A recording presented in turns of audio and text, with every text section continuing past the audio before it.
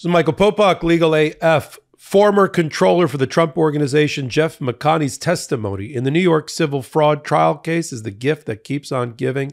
His testimony and cross examination by the New York Attorney General Mr. Amer establishes the conspiracy between Allen Weisselberg, Jeff McConney, and Donald Trump, and by extension, Eric Trump, and the fraudulent statement of financial condition of Donald Trump and the Trump Organization, used by them to obtain giant loans they weren't entitled to, obtain insurance they weren't entitled to, get approvals they weren't entitled to, get project approval they weren't entitled to, get surety bonds for construction they weren't entitled to, and all the rest, which is at the heart of the civil fraud case. What did McConney do? He did the thing that Donald Trump denied that he was involved with. Donald Trump has consistently denied, including when he was on the stand just a couple of weeks ago. Seems seems like uh, seems like yesterday that he had very little involvement. Donald Trump said with the statement of financial condition, which is at the heart of the case, the listing of assets and liabilities to show net worth which was a requirement of many of the banks that Donald Trump, for instance, Deutsche Bank required Donald Trump to show a personal net worth of over two and a half billion with a B dollars and about, you know, uh, $500 million of liquid assets. So you have to have assets on a sheet that show that. And that's the statement of financial condition at the heart of the case. Donald Trump tried to be hands off. I didn't know about it.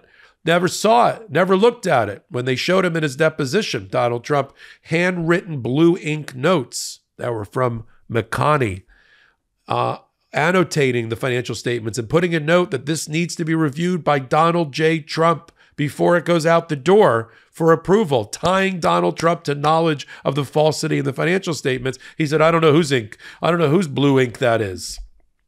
The New York Attorney General knew who it was. It was Jeff McConney. When Eric Trump testified at the trial, just at the trial itself, I wasn't involved with the statement of financial condition, constantly trying to dump on Mazars, the outside accountants, by saying, I rely on accountants for that. I don't get involved with statements of financial condition. He had to walk that back after he was cross-examined, cross-examined with a document that showed that Jeff McConney wanted Eric Trump while he was running things while daddy was in the White House to review the statement of financial condition the same way daddy Trump did for all the years at issue prior to him becoming president. Eric Trump took over that job. He got the big desk like in succession. And he had to then uh, respond to, to McConney.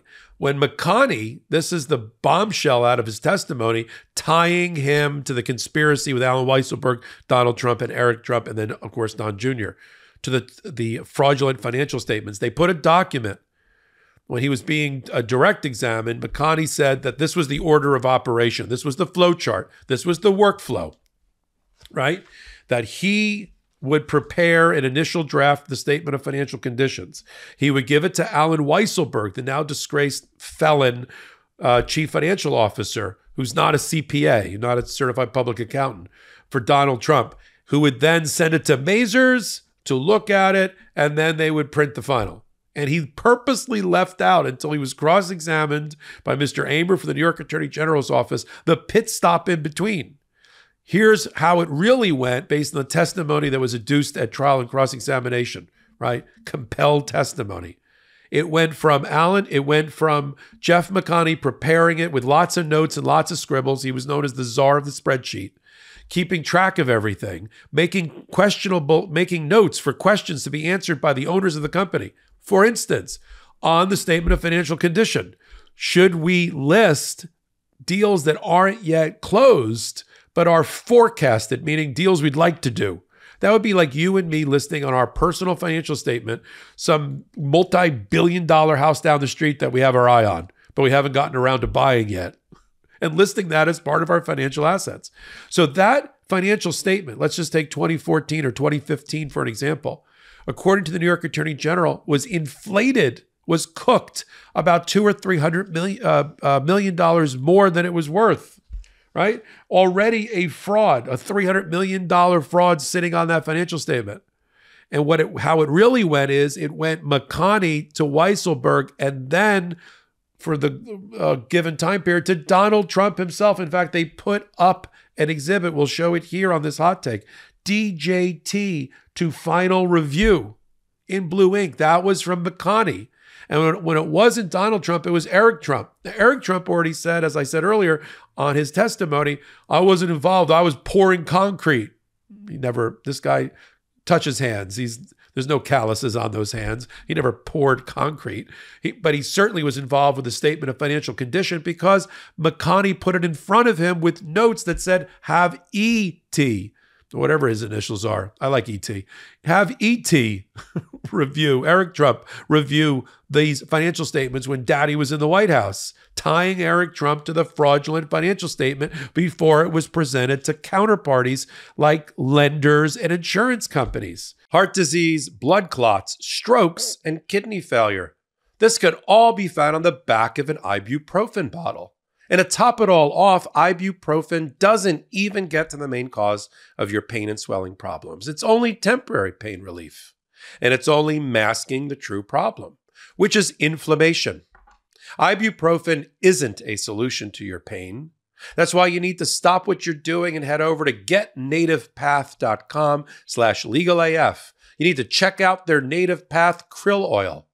Researchers are saying to add this Antarctic supernutrient to your diet. I'm talking about omega 3 fatty acids, but not just any form of omegas. These are omega 3 fatty acids sourced from wild caught krill.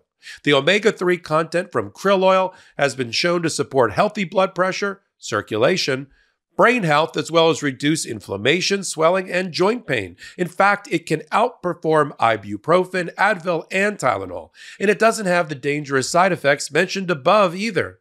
Better yet, for a limited time, you can grab Native Path Antarctic krill oil for as low as $23 a bottle. Just go to getnativepath.com slash legalaf right now to get your special offer for being a part of the Legal AF audience. That's getnativepath.com slash legalaf to pick up your bottle of Native Path krill oil. See, the way that McConney misled or tried to mislead the judge is that he tried to argue that it was all an internal issue and the last stop on the train was Mazars, the outside accountants, and Donald Trump and Eric Trump weren't involved. But his own penmanship did him in on the stand. You can't write notes and have questions in there for the boss and not and and then take the same position at the same time that's completely inconsistent and irreconcilable that the boss never saw these things or wasn't involved with these things. In fact, the attorney general can conclude in front of the judge and argue in front of the judge that not only was Trump involved, but he made the ultimate decisions to include several hundred millions of dollars of deals that hadn't yet been actual, actualized, hadn't yet been accomplished had only been forecasted on his financial statement in order to boost the numbers, right? In order to cook the books. And his handwriting is all over it because McConney's handwriting is all over it. And Eric Trump's handwriting is all over it. And fingerprints are all over it because McConney's handwriting is all over it. And that's where we're coming with the case. There's another issue that came up. These documents with McConney's handwriting, right? The handwriting on the wall from Jeff McConney was not turned over by the Trump organization during discovery in the case. It was turned over, uh, you know, uh, by pulling teeth from Mazars, the outside accountant, in a subpoena process in which Mazars tried to battle with the New York Attorney General in front of the judge and was then compelled to turn over all their documents. And there was the cache of documents with McConney's signature on it that Trump organization and Trump conveniently either destroyed, which is called spoliation of evidence, which is a bad thing and a crime, or or they just don't have a document retention system. Again, an indicator that there's persistent fraud going on in an organization. And so Jeff McConney had to testify to all these things. I mean, they put up just to show you how meticulous the New York Attorney General is. They put up the exhibit, which is uh, People's Exhibit 3054. That's how many documents the uh, New York Attorney General put up in the case so far 3,000 exhibits. For those that question why does Judge Engoron need a law clerk to help him process information and understand a case as the trier of fact? Because there's been 3,000 exhibits presented. But these are key exhibits, right? Handwriting is not just on the wall, handwriting is on the documents. McConney's handwriting, directing traffic, sending the documents that are fraudulent to Donald Trump and Eric Trump when he was in charge to approve. to make the key decisions about whether, hey, boss, you know, I'll put this in my speech. Hey, boss, should we include the assets we haven't acquired yet on your asset sheet? And the answer to that from Donald Trump was yes. Yes, please. Do it twice. And those are the very statement of financial conditions that are fraudulent and inflated, used by Donald Trump and the organization to go get more money than he was entitled to at banks, to get insurance companies to insure projects, to pull permits, to do construction. And that is the case. And who better to tell it, even if he didn't do it in a cooperative fashion under penalty of perjury, than Jeff McConney, the same the same controller who's been with the uh, Trump organization reporting to Allen Weisselberg, the chief financial officer for more than 30 years, who got immunity in order to testify against the Trump organization last year in the tax fraud case in which a jury, a state Manhattan jury, found 17 counts of felony tax evasion by the Trump organization while McConney was on the was on the uh, switch, right? While he was on watch.